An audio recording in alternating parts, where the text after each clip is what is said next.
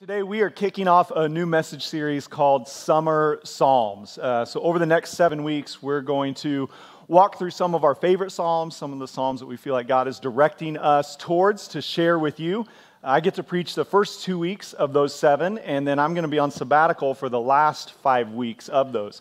Now, during that time, uh, I'm on sabbatical and Angie's on sabbatical, but the church is not on sabbatical. We will continue to meet we will continue to worship. We will continue to serve. We'll continue to do all the things that God has called us to do. We have a wonderful pastoral staff um, that is going to step in and lead in all of those areas and do a great job. So um, if I don't answer my phone or respond to my emails, that's why. I'm not mad at you. I'm just hiding from you. Um, right? Not, not really. I'm resting, resting. That's, that's what we're doing. But um, it's going to be really good. I'm excited for this series. We've got, so I'm going to do the first two weeks, and then we have Clifton Talbert, uh, Kareem Katia, Rubens Cunha, Amy Byler, and Chris Godfrey are going to speak in that order. And so, actually, the, the inspiration for this series uh, came uh, a couple months ago, probably. I was on a Zoom, uh, Zoom call that Tim Lyons, one of our members, had put together for some Tulsa area business leaders, and Clifton Talbert was the speaker on that day. And he spoke uh, from Psalms about unity. And it was just one of those. Yeah, have you ever had a moment where you've listened to a sermon or a message and you've thought, I know a lot of people that need to hear this, right? Now, I was listening for myself first. Uh, but I thought, I know a lot of people that need to hear this. So, so I thought, well, definitely when I'm on sabbatical, I'm going to see if Clifton can preach one of those weeks. And as he said yes, and, and then there were just a couple other moments along the way where it felt like God just kept directing me back to the Psalms. And, and so it felt like a very good way for us to add some cohesiveness to those five weeks and also give um, each speaker some freedom just to say, hey, whatever the Lord is saying to you uh, about, about our church, about uh, where we are, about what He wants to do in us or through us or for us uh, from the Psalms, we want to encourage you to share those. So it's going to be great. Hope you're going to be here. Today we're going to start in Psalm 109 and talk about what it means to be honest. Now, Psalm 109 would not necessarily have been my personal preference uh, for a psalm to preach from. I would have enjoyed Psalm 23. Uh, you know, I would have enjoyed some of the other psalms, some of the messianic psalms, some of the psalms that talk about God's provision, God's deliverance, those sorts of things. As we get into Psalm 109 this morning, you'll see why it is one of the least preached psalms in the Bible.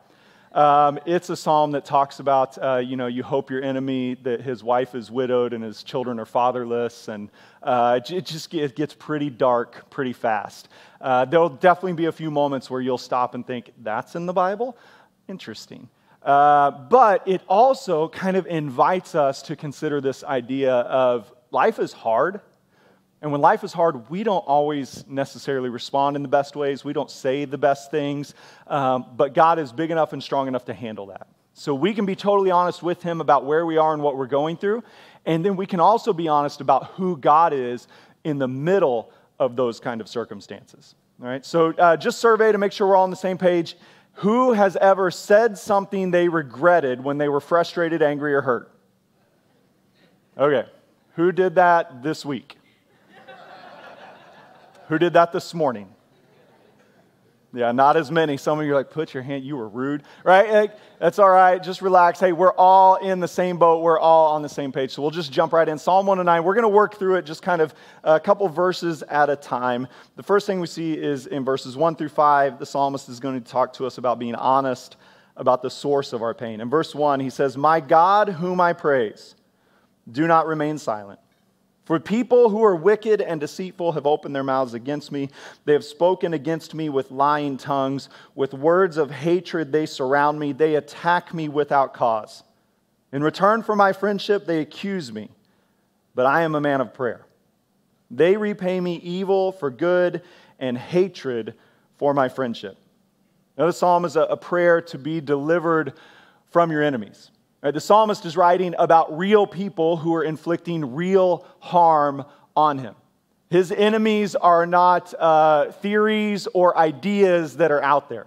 They are people with names and faces who live in places that he has seen, he's visited. They're affecting the course of his daily life. And his first concern is that God will remain silent in the midst of his suffering. Right? So, from the beginning, we're not only going to be honest about the source of our pain, but we're going to be honest about some of the fears that come in seasons of pain. And when things go bad, one of our first fears is God doesn't see, care, or hear. That my circumstances are proof of his absence, or perhaps worse, proof that he is judging me and giving me these things as punishment. The psalmist goes on, though, to describe how we feel when we're persecuted, when there's no legitimate way for us to free ourselves. The, the injustice that he describes is something that most of us are probably unfamiliar with. Right now, now on one level, we, we're familiar with it. if We all know what it is to be hurt, to be harmed by someone else. And yet, to, to suffer at the level he has, where you're being unjustly persecuted by your enemies with no legitimate hope for deliverance or justice, is a space that many of us have not quite found ourselves in. But if you've ever sustained those kinds of lingering, prolonged attacks, you will identify with every aspect of Psalm 109. But as we work through it, we'll see it's not just a cry for God to curse our enemies, but ultimately it's a cry for justice.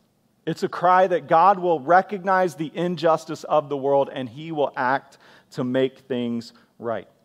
It's one of those Psalms that in your annual Bible reading plan, you probably uh, kind of plow right through it. You don't give a whole lot of thought to it. Maybe a line or two catches your attention. But when you're suffering, and especially when you're suffering at the hands of someone else with no hope of relief, Psalm 109 becomes very real and very powerful. As we stand at the beginning of another week of Royal Family Kids Camp, I think Psalm 109 is one that many of our campers would identify with. Now, the, the qualifications for a child to be placed in foster care are never pleasant. Not all of them are victims of abuse. Sometimes they have just tragically lost their parents. But for the vast majority of children in foster care, there's been some form of abuse, abandonment, or neglect. And in those settings, whether they can put it into words or not, whether they've ever, ever read Psalm 109 or not, they identify when he says, With words of hatred they surround me, they attack me without cause. In return for my friendship, they accuse me. They repay me evil for good and hatred for friendship. See, when a, a, child is abused, abandoned, neglected by someone who's supposed to love, protect, and care for them, it creates real and lasting trauma. And so, one of the functions of royal family is, first of all, to acknowledge these terrible injustices are occurring in the world and they're causing real pain and real damage. And so, where we're at this week is we're kind of on the backside of, hey, the problems have happened. Now let's try to be part of God's healing process. But as you read through Psalm 109, again, we see it's not just a cry for God, deliver me, it's also a cry for justice. And justice means not only, God, stop this from happening to me, but God, keep this from happening again. And so, royal family, we are on the backside of care, on the other side of the problem. But what we want to remember this morning is, as followers of Jesus, we're called to be people of justice people who speak out against injustice, people who stand in opposition to evil. And so, yes, we're going to care for those who've been harmed, but we're also going to do our best in whatever capacity we can, wherever God has placed us, to make sure these things don't keep happening. So, whether that's as a law enforcement officer, if that's as a, a lawyer, a medical professional, a social worker, an educator, a, a ministry leader, in whatever capacity God has placed you, you not only have a responsibility to care for those who've been harmed, but you also have a responsibility to prevent future injustices from occurring. And so we're going to engage with parents who are in need. We're going to reach out to children who seem on the verge, right? We're going to enter into these spaces. Psalm 109 reminds us not just that God hears us when we suffer, but also that we have a responsibility to others who are suffering. We have a responsibility to others, especially those who are powerless and are unable to defend or protect themselves. And so, so we're being invited to be honest about the source of our pain. It's not just, Lord, life's kind of uncomfortable. It's there's some very real things, and we can name them and we can point to them and we can talk to God about them. And then in verses 6 through 20, we get the, the more expanded description of exactly what that pain has done to us and how we react to it, right? So, so, so some of this here um, is one of those you can't believe it's in the Bible kind of prayers unless you've ever suffered in painful and unjust ways, and, and some of you, as we read through this, you're going to say, yeah, I prayed that. Prayed that yesterday for him by name, right? And what did you pray? Here's what you prayed Appoint someone evil to oppose my enemy. So we've escalated quickly here, right? We, we have moved past, Lord, deliver me, to God, send someone worse than him to get after him. All right, appoint someone evil to oppose my enemy. Let an accuser stand at his right hand. When he is tried, let him be found guilty, and may his prayers condemn him. May his days be few. May another take his place of leadership. May his children be fatherless and his wife a widow. May his children be wandering beggars. May they be driven from their ruined homes.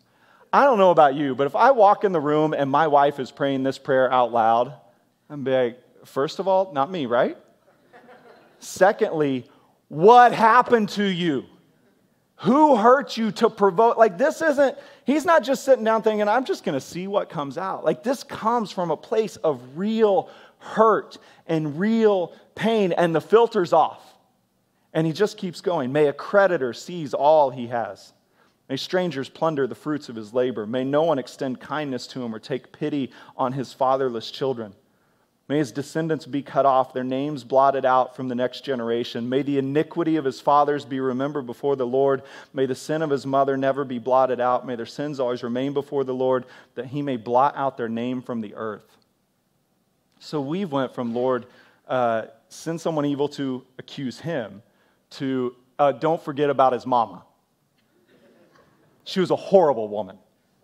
Don't forget about his dad. He was even worse than he was. Like, it, it's an escalating description of this person has caused so much pain, and it's just coming out louder and louder and louder. And then he gives a description of who this person is and how they approach life. He says in verse 16, For he never thought of doing a kindness, but hounded to death the poor and the needy and the brokenhearted.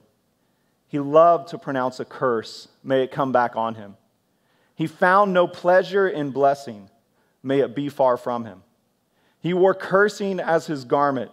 It entered into his body like water, into his bones like oil. May it be like a cloak wrapped about him, like a belt tied forever around him. May this be the Lord's payment to my accusers, to those who speak evil of me. Now, again, we're invited in Psalm 109 to be honest about our reaction to the pain. It's not just that we're going to acknowledge it, but we're also going to acknowledge, Lord, this is how I feel about it. It's the raw reaction of a wounded soul. It's not just a Lord, deliver me. It's not just a Lord, grant me justice. It's a Lord, crush my enemies. I mean, in some really uh, violent language, honestly, the psalmist is describing the pain that we feel. And for some of us, the thought of praying this way is, is impossible because we, we've just been taught or we've somehow adopted this idea of before I pray, I need to clean it up. And, and you'll see this in your life because think about the difference between the way you talk about your problems and the way you pray about your problems. Think about the names you call that person when you talk about them and the names you call them when you pray about them. Right? Over here, you're praying names, you're calling them names you don't want your kids to hear. And then over here, like, Lord, bless your child. Help him to see the error of his ways. And over here, you're like, that dirty. And you just, you go down the line, right? You have to wash your own mouth out with soap when you're done. And yet, there's this gap between where we refuse to be fully honest with God in our prayers. And what the psalmist is teaching us is God already sees it, knows it, and hears it when you say it. So you might as well bring it to Him in complete honesty. Right? And, and if you're not, then what you're actually doing, Jesus will tell us in Matthew chapter 5, if there's a difference in the way you talk about something and the way you pray about something, you're not praying to God, you're praying for performance. You're praying for public consumption. You're praying so others will respect you, so you can tell yourself you're a better version than you really are. But if you're going to be honest, Jesus tells us in Matthew chapter 5, he says, When you pray, do not be like the hypocrites, for they love to pray standing in the synagogues and on the street corners to be seen by others. Truly, I tell you, they have received their reward in full. But when you pray, go into your room, close the door, and pray to your Father who is unseen. Then your Father who sees what is done in secret will reward you. What's Jesus telling us? He's telling us, look, when you pray, you need to consider a private conversation behind closed doors with your Father. And in that space, you can be totally honest. See, for some of us this morning, the reason you can't get past your pain is you won't be honest about it with Jesus. You keep trying to dress it up, you keep trying to deny it, you keep trying to make it better than what it is. A couple years ago, um, I was going through a, a, painful season of life, and I was talking with a, a friend of mine who's a counselor. And so he's kind of talking me through, you know, hey, what's going on? How's it affecting you? And, and is it, you know, is, is what's happening here? Is it filtering into your marriage? Is it filtering into your family? Is it filtering into your friendships? And, and uh, you know, I was telling him, I don't, I don't think so. Um, he asked me, are you being honest with people? I'm like, yes, I have some people to be honest with. He said, well, there's always a next level of honesty. So he told me, when you get home or back to the office today, get out a piece of paper and write down everything you think about the situation you're going through. Um, and he said, don't, don't worry about it. No one's ever going to see it. You're going to turn it, you're going to tear it up and throw it away when it's done. So use whatever language comes to mind. Now I'm like, hey, you don't understand who I am. I am the grandson of Norma Dow. And if I said, dang it, there was soap coming my way. My mom thought but was a cuss word, right? We couldn't say gosh or golly because they were too close to using the Lord's name in vain you can't tell me to write down whatever comes into my mind because I take every, every thought captive and make it obedient to Christ. You can't tell me to do that. Self control is a fruit of the Spirit. I cannot do that. And he, he just kind of gently, not so gently honestly, he's like, Chris, go and do it. No one's going to see it until you're honest, you're not going to find healing and wholeness. I wish what he would have told me, because it would have carried a little more weight, was just go read Psalm 109. Right? You're not going to say anything worse than what's in there. You're probably not wishing for fatherless children on the people who've hurt your feelings. No, I'm not. I just want to call them bad words, right? You know, it's a, but in that process, what he was teaching me was God already saw it and already knew it. And if it's in my heart, he knows it, and it's in my mind, he's seen it, and if it comes out of my mouth, he hears it, so I might as well go into a private place. I know Jesus is not saying, hey, go on the street corner and bare your soul about everyone around you and then when they get mad, be like, hey, I was praying, shut up. No, he says, go into your closet, shut the door, and pray. And it's just between you and God. And what, what Psalm 109 is teaching us, what Jesus is trying to teach us, is prayer should always be honest and authentic. And it's at its most powerful when it's personal and when it's private. And in those personal and private prayers, you can be honest with God. And, and so that pushes us to another level that some of us have to consider is the reason we are not honest and authentic in our prayers is because we never have personal and private prayers. We only pray in public. We only pray when we're gathered in church. We only pray when somebody asks us to. We only pray over a meal. And prayer is such an irregular part of our life that personal and private and honest prayers just it has no ability, no potential to intervene. So make prayer a regular part of your life. Make honest prayer a part of your life, but in doing so, make it private between you and the Lord. And what you'll discover is God is big enough to handle anything you bring to Him. Right? We, we think sometimes, well, I can't say that because God doesn't want to hear it. Or I can't say that because God has enough problems, He doesn't need mine. Right? Any, anybody ever done that? If I've got some real problems, but there's other people around me with bigger problems, so I shouldn't bother the Lord? Somebody asks you, is there anything I can pray with you about? And there's, there's a list of 10 things, but you're like, no, pray for them. Theirs is bigger. But Psalm, Psalm 109 is not about other people's problems, it's about your problems. And you have to bring your problems to the Lord. And that means you got to change and understand. He already sees it, knows it, and hears it, so you might as well say it. Say it privately and say it personally in prayer. And then understand nothing you say is going to be too big for him. A couple weeks ago, I was listening to a, a, podcast, and they were interviewing a man named Dr. Terry Wardle, who writes a lot about um, mental health for ministry leaders. And one of the things that, that he was talking about, he was talking to pastors, which is why I was listening to it. He said that um, ministry is kind of a, a series of ungrieved losses. And that pastors, as much as we walk other people through grief, we're not very good at handling grief on our own. Uh, and, and he made this statement that, that it's one of those things that have you ever had that where you know it, but then someone else says it in such a compelling way it feels like you've heard it for the first time? He said, Our grief is a grain of sand, and God is the ocean. Our grief is not going to push him around. I mean, you think of the biggest, most difficult, most challenging problem you have, and it's a grain of sand to the Lord. That doesn't mean he doesn't care, doesn't mean he doesn't see, doesn't mean he doesn't have a plan. It just means there is never anything you're going through that is going to push him off center. There's never anything you're going through that he's going to think, I don't know how to handle that, I don't know how to help them. But you can bring it all to him. And as we keep reading through the psalm, we see that this is where the psalmist arrives. In verse 22, he says, For I am poor and needy, and my heart is wounded within me. So he's moving us now from the external to the internal and inviting us to be honest not just about the circumstances, but about the internal effect that they are having on us. Right? He's aware that external trauma creates internal trauma. It's one of the things that, that we see at Royal Family Kids Camp of kids who've been abandoned, abused, and neglected. It not only has physical effects, but has mental, emotional, has spiritual effects. What happens to our bodies always affects our souls.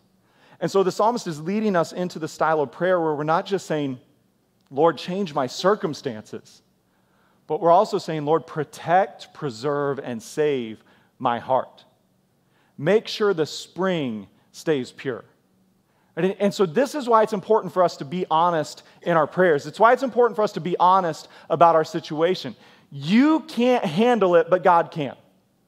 And so, for as long as you bring it to Him, when life is hard, when it's difficult, when you're suffering unjust persecution, when you're being treated unfairly, when you feel like the psalmist, I'm being pursued everywhere I go, I'm offering friendship and I'm receiving hatred. What he's saying is, in that space, that will have an internal impact on you. And if you don't deal with it, that internal impact will then begin to have an external impact on those around you. So when we come to the Lord and we're honest about our pain, we're honest about our suffering, our frustration, our bitterness, our anger, our rage, our jealousy, whatever it might be, when you come in prayer and you're honest about those, it's hard for things to take root in your soul that are continually being surrendered to the Lord. And so if you're going to come in prayer and say, Lord, I'm angry, Lord, I'm jealous, Lord, I'm insecure, Lord, I'm scared, Lord, I'm full of fear. And all of these things, if you're, if every day, several times a day, you're taking them out of your heart and giving them to the Lord, they have a really hard time taking root in your soul. But if you refuse to do that, they will get all bound up inside of you. And what harmed you in one area begins to filter into all of these other areas. So think of it from the position of a parent. You know, there are a lot of things you want to pass on to your kids. Maybe you want to give them your work ethic. Maybe you want to give them your love for others. Maybe you want to give them some of your wisdom. You want to give them uh, a group of friends like you have. I don't know what it is, but there's also some things we don't want to pass on to our children, right? And at the top of that list that we don't want to pass on is we don't want to pass on our pain. But we're going to if we don't deal with it. Right? If you don't deal with it, your children, they're going to get your fear. They're going to get your anger. They're going to get your lack of ability to trust. They're going to get your fear that everyone's out to get you and take what's yours. And if you don't deal with what's inside of you, you're going to pass it on. It's going to take root, it's going to grow, it's going to be magnified. And you have the potential to create some generational cycles of destruction in your family because you refuse to be honest with the Lord about what's going on in your heart. But if you'll be honest, and say, Lord, I not only need you to change my circumstances, but I need you to protect my heart. He will come and He will work and He will deliver and He will heal. Right, this, is, this is our hope at Royal Family Kids Camp. Now, we're not a therapeutic camp. Right, we're, we're not trained professionals. Everybody goes through training so they know the, the proper way to interact and do all these sorts of things, but we're not licensed counselors. And so, what, what we're going to do is provide a lot of external fun. We're going to swim and we're going to fish and we're going to have activities and crafts and we're going to eat kind of good food and we're, you know, we're going to do all of these kinds of things that you do at camp. And it's all external stuff, but our hope, our prayer, our belief, and what we've seen over 23 years is the external opens the door to the internal. And those kids, whether it's at night when you're praying with them before they go to bed, if it's in a walk from the chapel down to the river, at some point the internal door opens and they start to ask questions. And we can step into that space and begin to talk to them about, hey, God can heal your heart. He's healed mine. Here's what He did for me. Here's some of the dark things I went through and have endured. And here's how God was with me. And what our hope is, is that as God works internally, those cycles of abuse, abandonment, and neglect end with these children. But they not only find hope and healing and salvation for them, but they write a totally different story for their kids and the generations that follow. For all of us who follow Jesus, we can look back in our family tree, and at some point there was a family member who made a decision that changed the trajectory of our families. If you look back and you say, I don't have that, then that person's you. You're the one that they're going to say, My grandpa, my great grandma, she did this, he did that, and things were different. What happened there? People decided, I'm not satisfied with just praying about the external, I need to pray about the internal. And as God works and moves, it changes the trajectory of individuals, of families, of generations of people. But we have to come from that position of, you know what, I'm not going to pass on to my kids? I'm not going to pass on my pain. I'm not going to pass on my hurt. And the only way I can avoid that is by surrendering it to the Lord. Because if I stuff it, it's going to come out. And then the, the psalmist, he, he starts to wind down by reminding us where our hope is. He tells us in verse 26 Help me, God. Help me, Lord my God. Save me according to your unfailing love. So, this is why you can be honest with God. Because his love for you is unfailing, it's never ending. It's not based on what you do. It's not based on who you might become. It's not based on how well you pray. It's not based off of did you guard your language when you were praying to me. It's not based off of any of these things. God loves you because he created you. He loves you so much that he sent his son so you could enter into a relationship with him. And so the psalmist, his hope for ultimate deliverance, salvation, and healing does not rest in the power of his prayers, but in the presence of God's unfailing love. So he's not reminding God, hey, remember, you unfailingly love me. He's reminding himself God, it's your unfailing love. What's unfailing love? Unfailing loves mean when you fail, God still loves you. Never gives up, never turns away, never gets tired of welcoming you back in. I know you might, I mean, we might be working through this this morning. You're thinking, this would have been great to hear 50 years ago. But I've already passed on the pain to my kids, and they're all kinds of messed up. They passed it on to the grandkids. We're praying one of them is the person people can point to because I'm, I'm just getting blamed for everything right now. Right? And, and if that's your spot, you might be totally right. And God's love for you is unfailing. He's not turning away, He's not angry. He's not looking to crush you. He's looking to welcome you, to heal you, to bring you into an assurance of His love. So you can be honest about your hope for healing the pain. It's not in a person, it's not in a program, it's not in some procedure you need to go through. Your ultimate hope is God's unfailing love for you. It's why you can be honest, and it's why you can have hope. And then the psalmist, he, he finishes in verse 30 with this final encouragement to us. He says, With my mouth I will greatly extol the Lord. In the great throng of worshipers, I will praise him, for he stands at the right hand of the needy to save their lives from those who would condemn them. So, again, we're going to be honest not just about our pain and our experience of it and our reaction to it, but we're going to be honest about the hope that we have in pain. And our hope is that God will do what He's promised He will do. He said He'll never leave us or forsake us. So, we're going to believe that and we're going to declare that. And he, I love the, the, the picture that Psalm 109 creates. The Lord stands at the right hand of the needy. Because what's our most common question when we're in pain, when we're suffering? God, where are you? And he, he's answering it. I'm, I'm literally right here. I'm at your right hand. I've gone before you. I'm coming behind you. I'm above and below you. I've got you surrounded on every side. Right? That's how we can pray. Though I walk through the valley of the shadow of death, I will fear no evil. Why?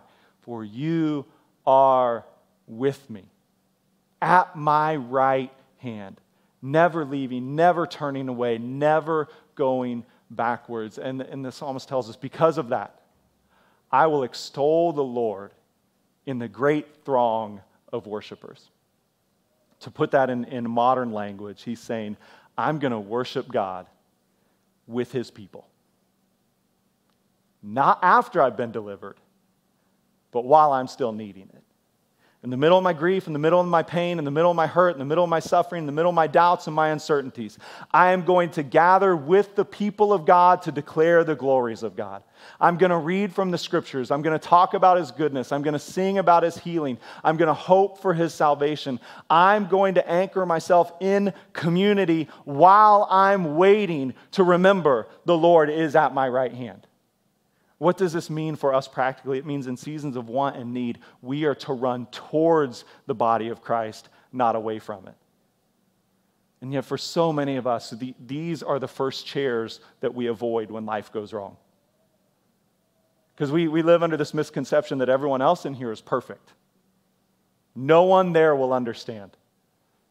I'm the only one who's ever been laid off. I'm the only one who's ever had marriage problems. I'm the only one whose child has ever made poor decisions. I'm the only one whose parents have ever let them down. I'm the only one who's ever experienced a death in the family. I'm the only one who's had an illness that wasn't healed. I'm the only one who's been in a position of financial need. I'm the only one who's made foolish choices. I'm the only one who bears the consequences of what other people have done. I'm the only one with lingering hurt and pain and doubt and fear and depression and frustration. I'm the only one, and because I'm the only one, I might as well be alone. What the psalmist reminds us in 109 is no, no, no.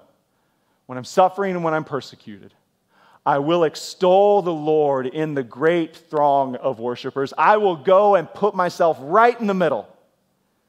And I will sing the songs and I will pray the prayers and I will read the scriptures. And I will believe that what God has done, He is doing, and He will do. And I will remember that my circumstances do not change who He is or what He has done. That my actions cannot stop His love, but He is with me and He is for me and He is active and He is moving.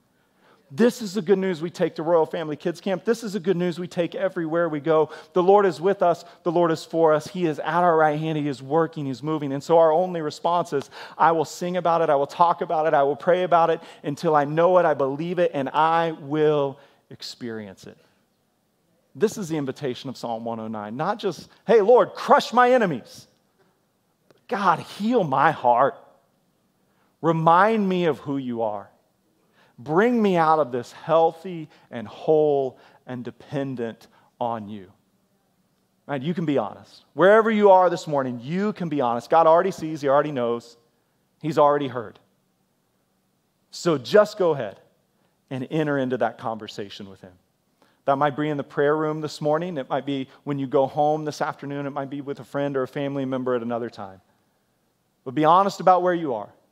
And as you are, the Spirit will come and be honest with you about who God is, what God is doing, and why you have hope and why you can sing and rejoice even in the midst of suffering. Will you stand with me? I want to lead us in a final prayer this morning. The band's going to come back and they're going to lead us in a final song. Lord, we come to you you see every season, every situation that we're going through. You see the hurt and the pain that we have caused or that others have caused us to experience. Lord, today we come and we ask that your Spirit would work and would move. Lord, give us the freedom to be honest with you about where we are and what we feel. Help us to pray authentic prayers, Lord, not just to vent and complain, but to find freedom in life. As we cry out against the injustices that we're experiencing and that we see, Lord, we have hope that you are the God of justice, that you are the God of action. You are the God who moves and works on our behalf. As we sit in seasons of grief and loss, Will you come and remind us that you are the God who draws near to the brokenhearted? Lord, as we're in a, a, moment where we need your provision, we need your deliverance, we need your salvation and your healing, will you come, Lord, and, and let us hear your words that you are at the right hand of the needy. You have never been closer to us than you are right now. And so, Lord, we come, we open up every part of our life, every relationship, every need, every hurt from the past, every trauma, every abuse, everything that we've endured, Lord, we lay it before you today and we pray in this space, Lord, will you heal our wounded hearts? Will you remind us of your unfailing love? Will you work and move in supernatural and miraculous ways? Lord, we don't want to just vent about our situation. But as we lament, we want to experience your peace and your presence. We want to know that you're here, uh, that you hear us, and that you're working. So, Holy Spirit, we invite you in this morning to combat the lies that God doesn't see or doesn't care, and to remind us of his unfailing love expressed to us in Jesus Christ. Jesus, we receive your presence, your power, your transformation today. In Jesus' name, amen.